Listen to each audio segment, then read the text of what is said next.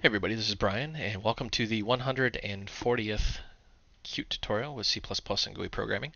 Um, we're going to continue our conversation um, with QML, and we're looking at the item type here. And remember, this is kind of the base object, if you will, and it actually inherits QObject. So, actually, let's talk about that super quick, because I did actually have a question already. Somebody asked me, can you use QML and C++ at the same time. And actually, yes, that's exactly what this is designed for. You see how the QML item type inherits the Qt object? Well, actually, what this happens, what happens is under the hood, these are all C++ classes that are built into the Qt libraries. And you can actually mix and match C++ at will, meaning you can actually create a variable in QML that points to, because you understand the concept of pointers, that points to a C++ class in memory. So you can literally separate your, your display, if you will, from your business logic. So all the things that you've learned so far in the 140 some odd tutorials that we've made, you know, still apply. You can still use all your current Qt knowledge. You just have a different graphics layer that we're working with now. Whew, that was a mouthful. So what we're going to be exploring today is the concept of anchoring. Um, it seems simple until you get into some of the details. Um, I'm not going to use notes for this. We're just going to kind of freestyle this, so bear with me. Um, that's one thing I actually do love about uh, Quick is that it's so it's so flexible. You can actually freestyle. Where if I were to try to do a tutorial with C++, um, I've tried it in the past and I've had mixed results. Where sometimes I do the video like four and five times before I just throw my hands in the air and say forget it. So I'm going to say width. I'm going to go with 500. Height. 500. Give us a big area to work with here. And we're going to just get rid of this for now because we're going to still work with our good old friend, the rectangle. And what we're going to do here is we're going to say, hmm, let's say hmm, hmm, hmm, width equal parent whoops, width divided by 2. Why not? Height. We're going to do parent dot height divided by 2. And it's kind of amazing to me because I've had just a ton of feedback since I've started these. Wow. I cannot type either. It's, I've had like a really crappy day, so I'm just like waiting for the day to end. Alright, so color and we're going to say green. Now, we know what happens if we create this thing. We're just going to save and run this. It'll be in the top left corner, of course. So, there it is, top left corner. And we've seen from the previous one where we could say anchor, and then we have all these anchor options. This is IntelliSense. If you don't have this, press Control Space on the keyboard and it'll bring this up you can see we have all these little options here. Now, whenever it starts with on, that's actually not an anchor, that's an event. So yes, uh, QML has events just like Qt does. Um, I should say signals and slots because that's really what they are under the hood. But you can see how you have like baseline, center in, fill, etc., etc., etc. So we're going to play around with some of these. So we're going to say center in, parent, and sure enough, you know, nothing, nothing fancy so far. We've seen this before. And we're going to make a couple different rectangles here. So we're going to call this one root. Now, why are we calling this root? It's good practice when you have a, a parent that you want to be your main display. Like think of it as the backdrop or the background, like you're watching a movie and it's the canvas on which the movie is being projected. That is your root. Now, it doesn't change the behavior of this, but we have now effectively named this. We could call it fuzzy bunny slippers or, you know, chicken McNuggets or whatever, but calling it root is just kind of like the de facto way of working with uh, QML. So we're going to make another rectangle.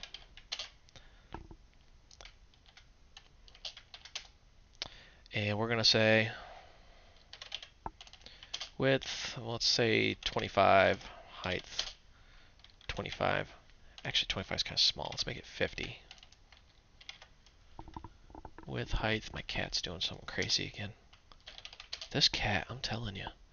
And we'll make these red, just because it's a very, very much a contrasting color here. Now,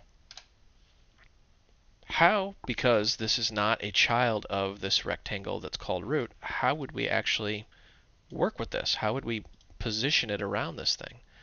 I mean, if we do anchors dot center in, we can't say parent minus 1, but we can say root. See how it magically appears now. So when we run this, even though it's not a child of that rectangle, we can center it in there. Now we can play around with the positioning a little bit. So let's actually make a few of these.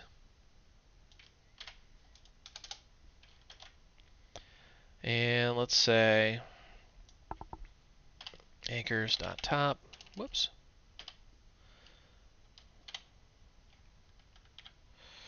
And we'll say root dot top. And we'll say anchors dot left equal root dot left. And run this and see what happens. And you see, sure enough, it does it in the top left right here. So let's make another one. And let's actually make this one yellow because why not? And we're going to say root right and root bottom.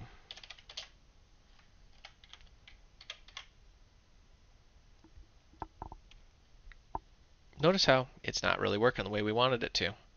Why is that? Because we are mixing and matching. We're saying root right, root top. Yeah, sorry, anchors top, root right. Those two aren't compatible. They're two totally different things. So instead of crashing our program like a, a buffer overflow or anything that would have happened in C++, it just defaults to 0, 0. So let's close this and let's actually fix this here. Let's flip this around.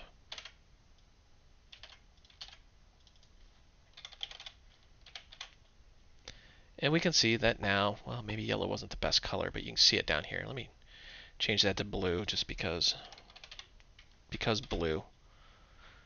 Now we can see that it is actually anchored there. It is anchor top, boop, is on the bottom, and then anchor right is on the left. So that is how you would do positioning around an object. Now, one thing you should really understand about this is if we did not name this, we would have no way of accessing this. So let's give one of these a name. Like let's call this uh, ID Big Red. Why not? And we'll name we'll make this a little bit bigger.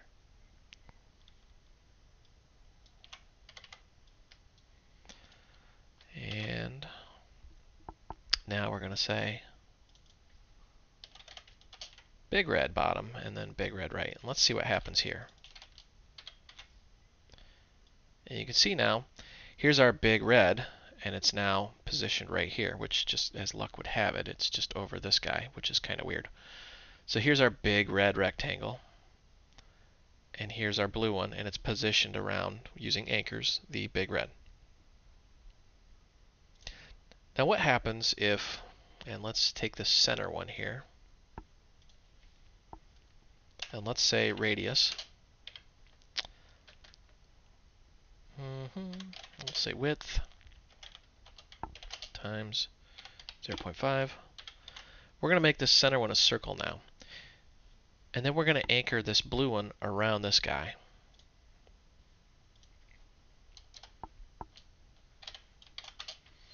Hmm, we need a good name. Like a really good, awesome name. Hmm. Looking at my cat, and of course he's not giving me any ideas, so I will name this cat. Alright, so we're now going to position this around cat, because that little monster won't give me any ideas here. We'll run this. And you can see how now it doesn't actually line up, but it really does. Remember, this is a rectangle. So why is it not lining up with this? Because it's out, it's lining up with the borders here. If you were to draw a straight line, you'll see that it's touching right on that edge. And that's because you have this rectangle around it. So just bear in mind, especially if you're going to do graphics, sometimes you may need to use what's called an offset. Or you may need to, you know, tell it, you know, bottom, let's say. Let's do right minus 5 just because. Let's see what happens here. Yeah, see, it died. Gonna freestyle this here a little bit, so see what happens if I do this. Yeah, I may just give up on that.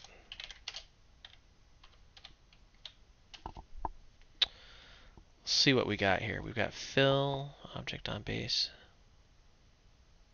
I swear there was an offset. I'll find it for a future tutorial. Mark my words, I will find this. Alright, so let's actually look at margin, because that's the other thing I wanted to talk about here.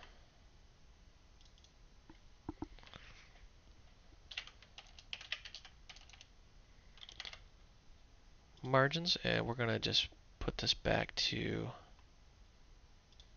a square. I'm going to give it a margin of 10. Let's see what happens here. Notice how it is no longer lined up. What a margin does is it puts like a little buffer or a margin. When you're printing something, you have that page margin around. That's exactly what this thing does, is it adds that little bit of buffer here. So let's try sticking a negative number in here and see what happens. You can see how now it kind of bumps into it. That's kind of what I was talking about with offsets and margins and things of that nature.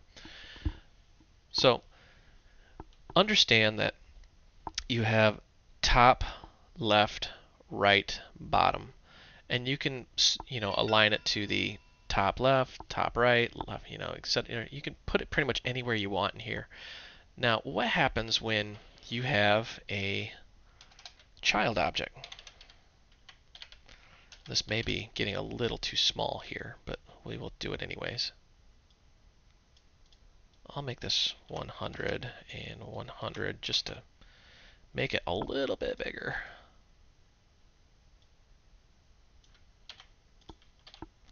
We're going to make this guy 50 and 50. We're going to make this yellow because I want it to stand out here. Now, notice how this guy, and let's give this a name, blue box.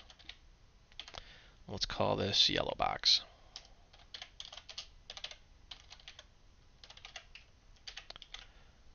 Uh-oh, didn't like that. It's because we're missing something here. There we go.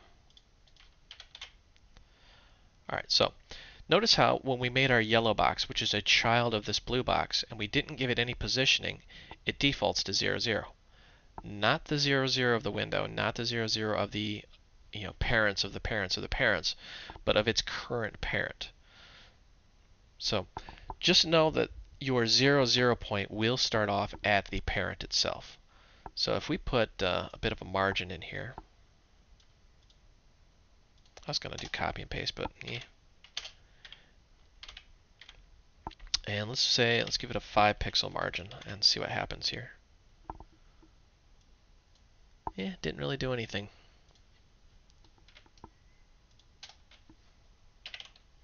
I think it's because we have to actually, um, let's say parent. Let's try this. Yeah, there we go. Because we've actually used the the marge, or I'm sorry, the anchor, anchor's left, we're now going to use the anchor's margin. So yeah, we got this little 5 pixel on the left. So if we did the top here, we'd also have it. So that, albeit a little bit confusing, is how margins work. You can add that little little space, little buffer. It's really good for positioning when you've got a couple objects and you just want to spread them out a little bit. So what happens this yellow box is kind of a child of a child of a child of a child. If we now take this and we say root, remember our little root object that we made way, way, way up here? The big rectangle? What happens if we do that? Well, not much. So let's get that out of there. Run this again. So questions, comments, concerns, I look forward to your feedback. Um, that in a nutshell is anchoring. Um, there's more to it, but I really wanted to just kind of, you know, whet your appetite a little bit and cover the basics. Um, I do apologize for some of the little quirks. I totally did not write an example program and then follow my notes. This was completely off the cuff here. But it shows really how easy it is to to work with Qt Quick and to kind of learn from your mistakes and see what's going on here. So like we can actually just play around with this more. I'm going to play around with this a lot more, but I'm going to stop the video because I don't want to waste your time. All right, for uh, the source code for this and other tutorials, visit my website, voidrealms.com. Um, also, um, join the Void Realms Facebook group. If you're wondering why I keep pushing that, it's because there's only one of me and there's like tons and tons of you guys. So rather than, you know, emailing me or messaging me and waiting months on end for me to get back to you, you can just join the group. And usually, like literally within five minutes, somebody in the group will have an answer. And a lot of the times the answer is actually better than what I could give you. So feel free to join that group.